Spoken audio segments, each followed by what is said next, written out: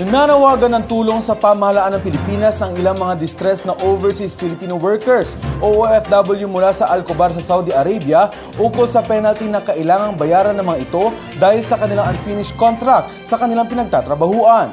Ayon sa post na inilabas ng ilang OFW sa Facebook page, ang dahilan kung bakit hindi natapos ng mga naturang mga manggagawa ang kanilang mga kontrata ay dahil ang ilan sa mga ito ay nakulong at ang iba naman anila ay pinalayas ng kanilang mga employer. Nais ng mga uwi sa Pilipinas na mga naturang manggagawa at makapiling ang kanilang mga pamilya. Kaya naman panawagan mga ito sa gobyerno ng Pilipinas, partikular sa Philippine Embassy, Polo at OWA sa kanilang lugar na matulungan sila sa kanilang hinaing sa lalong madaling panahon. Sinabi ng mga ito na sila ay nababahala kung saan ang mga ito kukuha ng kanilang mga panustos sa pangangailangan ng kanilang mga pamilya na naiwan sa Pilipinas.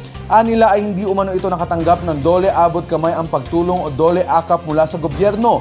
Bukod dito, hinihiling ng mga manggagawa na buksan din ng pamahalaan ang kanilang serbisyo gaya ng ibinibigay ng mga ito na tulong mula sa Jeddah at iba pang lugar sa naturang bansa.